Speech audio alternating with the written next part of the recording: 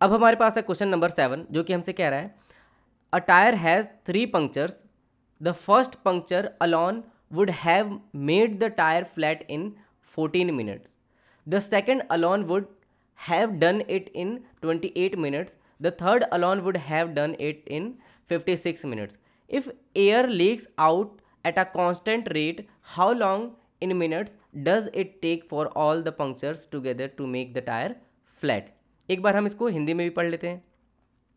हिंदी में क्या कह रहा है? एक टायर में तीन पंक्चर हैं। पहला पंक्चर अकेले ही टायर को चौदह मिनट में फ्लैट कर सकता है। दूसरा पंक्चर अकेले ही इसे अट्ठाईस मिनट में फ्लैट कर सकता है और तीसरा पंक्चर अकेले ही इसे छप्पन मिनट में फ्लैट कर सकता है। यदि हवा नियमित दर से निकल रही है तो सभी पंक्चर को एक साथ मिलकर टायर फ्लैट करने में कितना समय लगेगा? ठीक है? हमें ये बताना है। तो सबसे पहले हम क्या करते हैं यहाँ पर पंक, जैसे कि पंक्चर होल है, सो पंक्चर होल को यहाँ पर हम क्या लिख लेते हैं? पहले एच, होल को एच वन और दूसरे को हम एच टू और यहाँ पर हम एच थ्री लिख लेते हैं थर्ड वाले को, ठीक है? सो अब जो एच वन है हमारे पास, वो टोटल कितना मिनट ले रहा है? So H one fourteen minute ले रहा है फ्लैट करने में, ठीक है? और एच टू कितना ले रहा है? अट्ठाईस मिनट और तीसरा हमारे पास होल क्या कर रहा है? वो फिफ्टी सिक्स मिनट ले रहा है, ठीक है?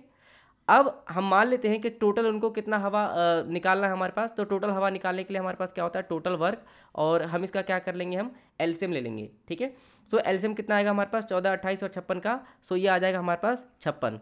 सो टोटल इनको छप्पन हवा निकालना है। टोटल इनको क्या करना है? छप्पन हवा, यानी कि एयर निकालना है, ठीक है?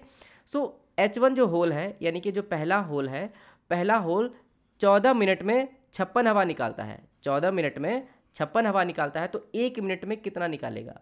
सो so, एक मिनट में हम क्या करेंगे? तो छप्पन ओवर चौदह कर लेंगे तो यहाँ पे क्या है? चौदह चौको छप्पन यानी कि यहाँ पर चार आएगा ठीक है? सो जो चार आया हमारे पास ये क्या है बेसिकली ये एक मिनट में निकाला गया हवा है जो कि बेसिकली ये एच वन का एफिशिएंसी हो जाएगा ठीक है?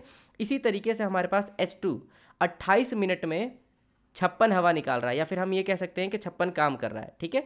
सो एच टू जो है हमारे पास अट्ठाईस मिनट में छप्पन काम कर रहा है तो एक मिनट में कितना करेगा? तो छप्पन बटे में अट्ठाईस, यानी कि अट्ठाईस दूना छप्पन, यानी कि दो काम करेगा। इसी तरीके से जो एच थ्री है हमारे पास, वो छप्पन मिनट में छप्पन काम कर रहा है तो क्या करेगा? एक मिनट में कितना काम करेगा? तो एक मिनट में वो एक काम करेगा तो ये एक इसकी एफिशिएंसी हो जाएगी। अब ये कह रहा है कि टोटल यानी कि हमारे पास एच वन एच टू और एच थ्री अगर ये तीनों एक साथ मिल जाए तो टोटल इनको कितना काम करना है? सो so, टोटल काम तो इनको टोटल छप्पन ही करना है ठीक है? अब तीनों मिल जा रहे हैं तो तीनों की एफिशिएंसी भी जुड़ जाएगी। तीनों की एफिशिएंसी कितने हो जाएगी? चार दो छः और एक सात। अगर इस तीनों साथ में मिलकर अगर काम कर रहे हैं तो टोटल हवा जो है हमारे पास छप्पन निकालना है तो कितने मिनट में निकाल देंगे? तो सत्तू अठू छप्पन यानी कि यहाँ पर क्या हो जाएगा? आठ मिनट लगेगा। सो इसका आठ यानी कि ऑप्शन नंबर डी ऑप्शन होगा।